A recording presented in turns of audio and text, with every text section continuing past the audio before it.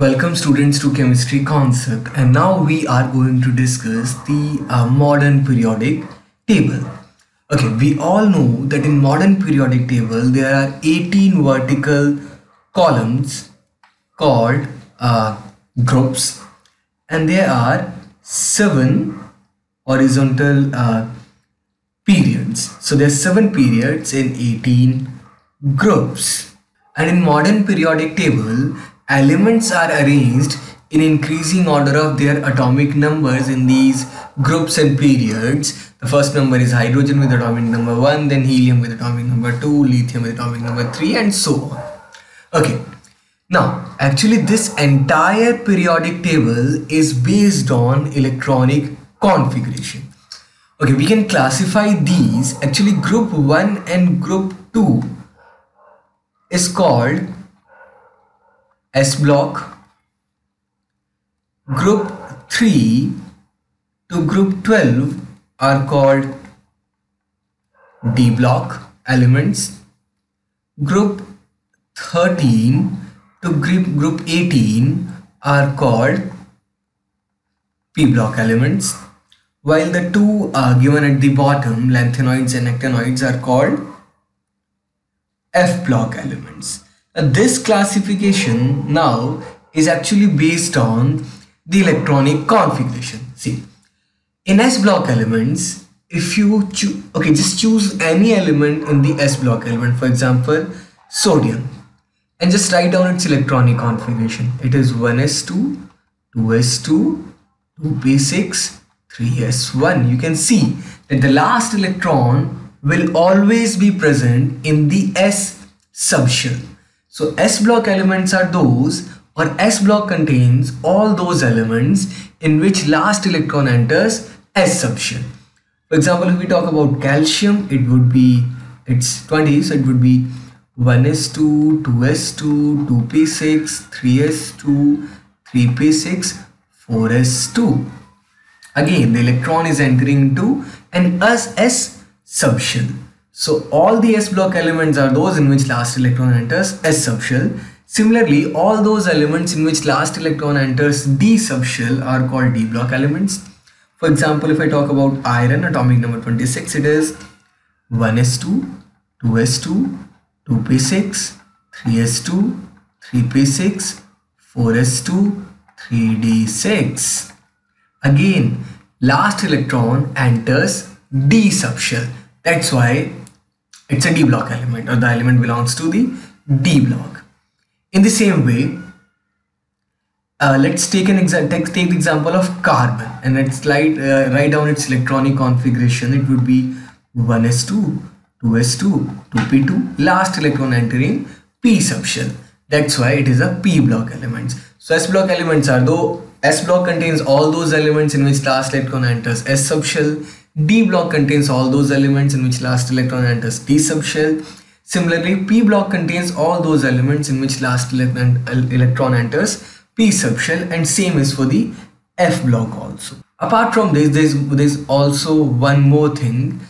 Group 1 represents S1 elements, group 2 represents S2 elements. Now what does it mean? Electronic configuration of sodium is more accurately 3S1. S1, so it will be from group 1. Calcium is 4s2 s2 so it is gr from group 2. In the same way group 13 means the first member of p block so those so it, it belongs to p1 electronic configuration. Car uh, 14 is p2, 15 is p3, 16 is p4, 17 is p5 and 18 groups belongs to P6 electronic configuration.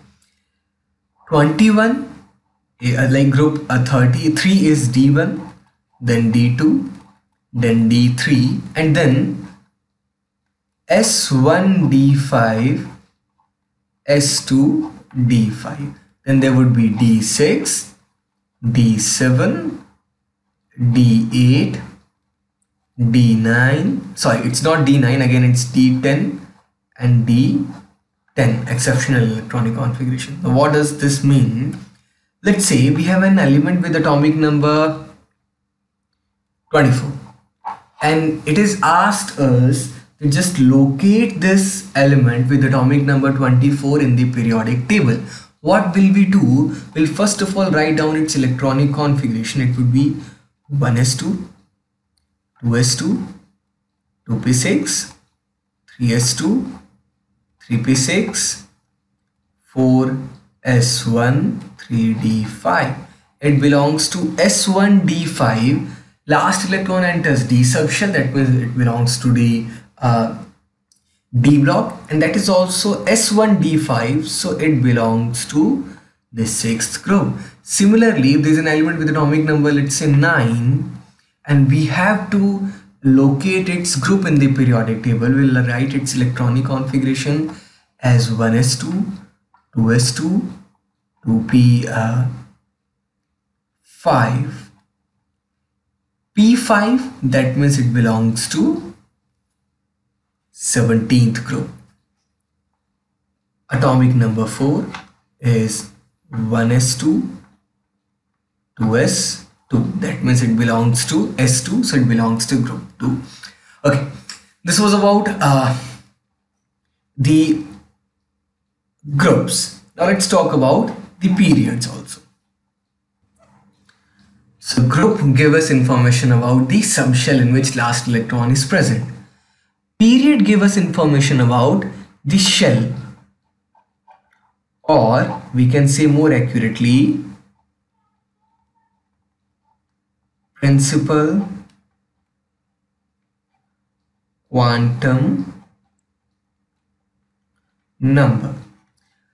Again, let's write down the electronic configuration of an element with atomic number 11 that is 1s2, 2s2, 2p6, 3s1. Period give us information about, I repeat, the principal quantum number. Now, the last electron enters 3s1 subshell. S1 that means it belongs to group 1 and also the principal quantum number is 3 that means it belongs to third period. So third period first group it is sodium. In the same way if an element has electronic configuration for example 4d6 that means the element belongs to fourth period. And d6 means eighth group. So it is iron. In the same way if the electronic configuration of an element is uh, final one is 5 P4 because it is P4 that means it belongs to group 16 and because 5 is the quantum number so it belongs to the fifth period Tellurium. This is how the electronic configuration is entirely based on the uh, uh, this is how uh, the periodic table is entirely based on the electronic configuration now there's one more thing and that is see because S subshell has only two electrons S1 and S2 that's why S block contains only two group. Now there are maximum of 10 electrons possible in D subshell that's why there are 10 groups in D block.